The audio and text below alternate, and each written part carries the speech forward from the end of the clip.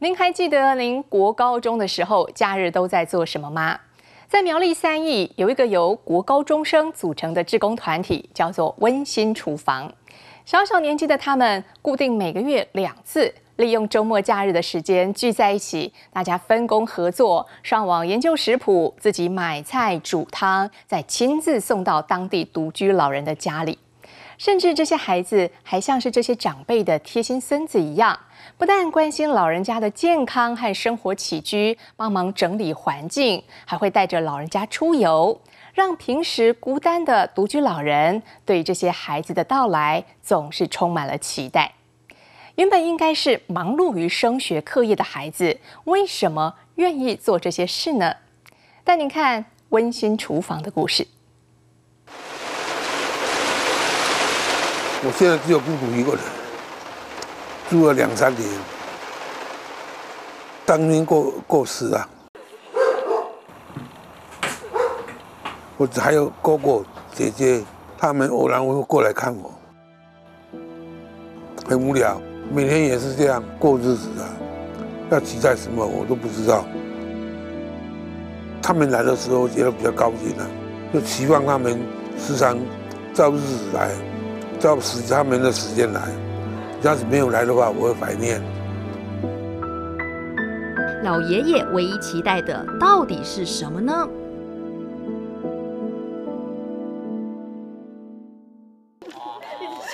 啊，那我们来开会。他们是三义温馨厨房的孩子，由当地的国高中生组成。一早就由团长吴耀忠集合伙伴们来开会。因为他们将执行每个月两次例行性的任务，就是送汤给当地的独居老人。大家煮汤的时候要记得戴帽子，然后还有口罩，就是卫生观念。然后今天是煮什么汤？香菇鸡汤哦。竹笙香菇鸡汤。然后摄影组今天有三位，场地就是清洁一下。然后有些人就是去洗小汤锅，那就以上都没有问题的话，我们就开始行动了。好，OK，动起来！孩子们各自认养负责的工作，立即动了起来。耀中也赶紧到附近的菜市场领回摊商赞助的肉。那个，我们就是来拿鸡肉。好，就。谢谢老板，每次那个都送我们鸡肉。没关系，没关系，你们两个调一点。好，谢谢。老板，谢谢，拜拜。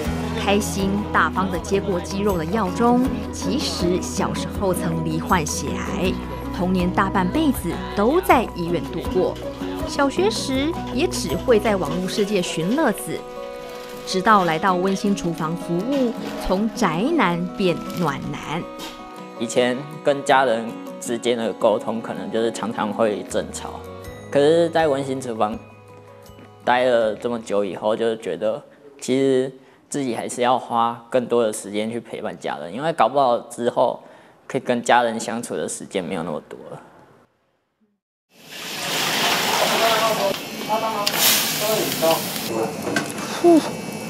好心烫哦，下一锅。同一时间，孩子们向教会借来的厨房里头也开始忙碌。我在鼓鼓，小心啊！发生啥事？直接冲啊！三二一，开！三二一是什么样？厨房里没有严肃专业的主厨，反倒充满了孩子们逗趣的言语，还经常会失手。但他们还是会仔细研究网络上的食谱，摸索出半吊子的料理 SOP，合力完成煮汤任务。六千多元，我觉得味道不错。其实鸡汤就是有点有高汤的效果。来加盐加盐。加盐。事实上，三亿温馨厨房成立六年来，每年的二月二十八号都一定会送汤给独居长者。今天也不例外，还特别在鸡汤里面加了少见的食材竹笙。因为二二八对某些独居老人来说是有特别的意义。这时场外也紧锣密鼓的盘点着，等等要一并送给独居老人的物资。倒了，就就就公开。水果，还有我们今天煮的那个香菇鸡汤，然后还有有鸡米，就是这里，然后还有那个馒头。平常就这么多了吗？还是因为今天是二八关系？呃，几乎平常都这么多，然后有时候还会更多，就可能到八样。就是赖你，然后看你跟他报好。这一次的水果是香蕉，也是由水果店老板无偿支援，还亲自送过来。因为他们水果都是用买，那我的想法就是说，那他们把买水果的钱省下来，买更好的食材，买更好的材料，然后给这些需要的人。那水果部分就是由我这边来提供。很多小朋友不见得像他们这样愿意来牺牲假期、牺牲假日。其实不少愿意到温馨厨房服务的孩子们，都有一段心酸的过去。就像叶丽君，才高三的她就以志工为直至，因为她有一个最爱她却不幸离癌的阿姨。他还是会坚持带着我去关怀贫民窟的那些平民们，还有小孩，这让我更加不解，为什么你都已经得了癌症了，为什么还要抱病带着我去服务那些人？但是他那时候对我说了一句话：“丽君，不觉得帮助人是一件非常温暖的一件事情吗？”在还没他还没跟我说过那那句话之前，我对人生都没有什么想法。我我是真的很想念我阿姨，但是。如果没办法，如果现在已经见不到他了，那我就用做自工这件事情去怀念他。如果有一天，我希望阿姨在天的有生之年能为我感到骄傲。再两个，哎，对啊，放你的，你可以。我可以，我可以。那要走了。你们要走了？走啦。还走？我爱这个啊！你们载我。你快一点啊，快点啦！整装完毕后，团队分几个小组，骑着脚踏车就浩浩荡荡出发。哦，孩子们帮每位老人取了昵称，像这位是山洞爷爷，他平时不良于行，话也不多，但只要孩子们到来，他总会打起精神来迎接。会烫哦，会烫哦，要小心烫哦，要吹哦。我们试一下味道，好喝吗？好。一向调皮捣蛋的孩子们，到了长辈家，个个都成了贴心的乖孙子。阿公，那个拐杖，那拐杖比较好走路。细心的黄颖玲，其实以前是个超害羞的女孩，因为她小时候有被霸凌过，所以她常常不知道该怎么办，很会恐慌。然后人际关系不是那么好，因为爸爸妈妈他们都是小儿麻痹症患者，生活上就已经很多不方便了，还要照顾我，所以让我想要去照顾跟其他跟爸爸妈妈一样的。这边的气氛也是改变我的原因。为什么？因为看到大家都那么开心，今只有自己一个人是难过的，也感觉怪怪的，所以就顺着其顺其自然就开心了起来。可以问他有没有。沿着小径，孩子们接着来到森林爷爷的家。阿公，我在家吗？公，很久没来看你耶。你的血压是高压一百六十毫米汞柱。你们的比较高，嗯，我量的比较低。次测量结束。有可能是因为你刚才有走路啦，有走路会高一点点。可是阿公还是有一点点高啦。阿公，你有记得有吃那个血压的药吗？有，每天都有。这位长得高大的男孩名叫高兴，温馨厨房的创办人。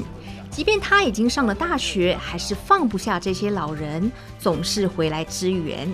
会利用厨房煮汤的部分，是因为我们发现以前在送爱心服务到家的时候，住在鲤鱼潭有一个阿公，他就是会营养不良，然后他的胃又不好，所以他就是会一直因为营养不良而昏倒。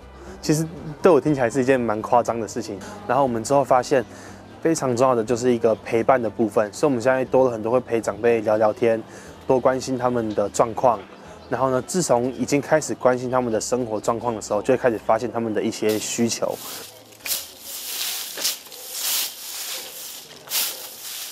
时不太动手做家事的孩子们，不只会帮忙长辈整理环境，连修缮他们也会接手 DIY。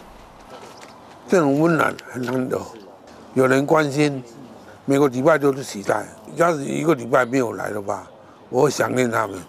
他们这一班的小朋友彬彬有礼啊，很到这边来都阿公阿公常阿公来，我被他叫得很 激动。嗯、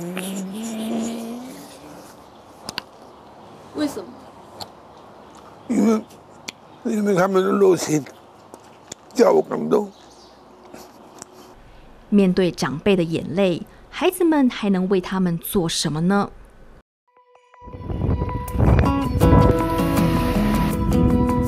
都会来在！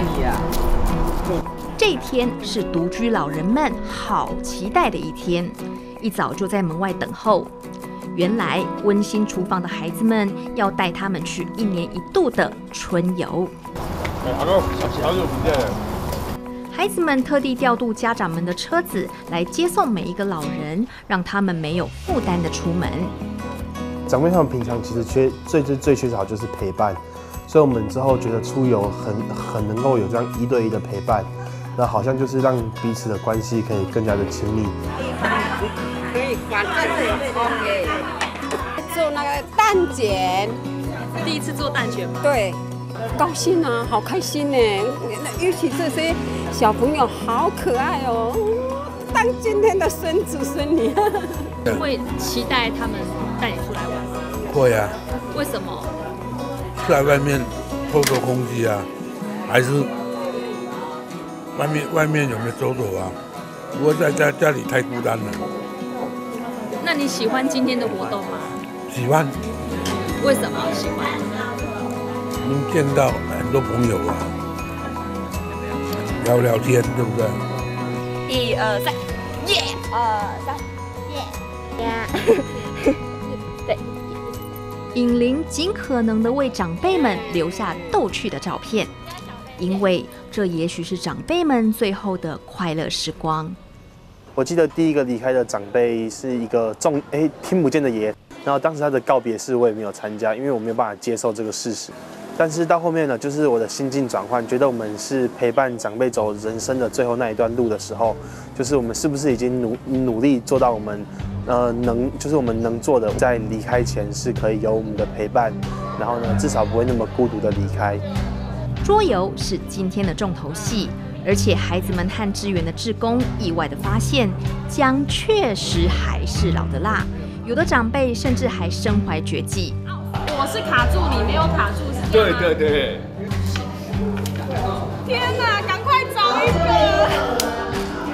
平常有没有人陪你玩象棋啊？没有，现在很少了。我我那边现在很少人玩这个象棋了。不要，我还要。你还要啊？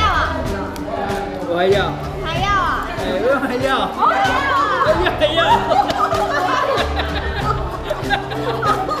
五关哇，五关了，我都五关了。慢点而已。他年轻的时候一定有对台湾这片土地或这个社会做出某一定程度的贡献啊，所以他老的时候不能因为他独居，然后就忽视他。他其实在这个社会上还是有一定的任务存在的。只是因为老了，然后就变成社会上比较边缘的一个族群，然后就可能被新的一代的人忽视掉了，然后他们就可能没有人看到他们的存在。在满意笑声的时空里，孩子和长辈们擦出跨越年龄的火花，因为有这样的经验，孩子们的善念。逐渐在心田萌芽。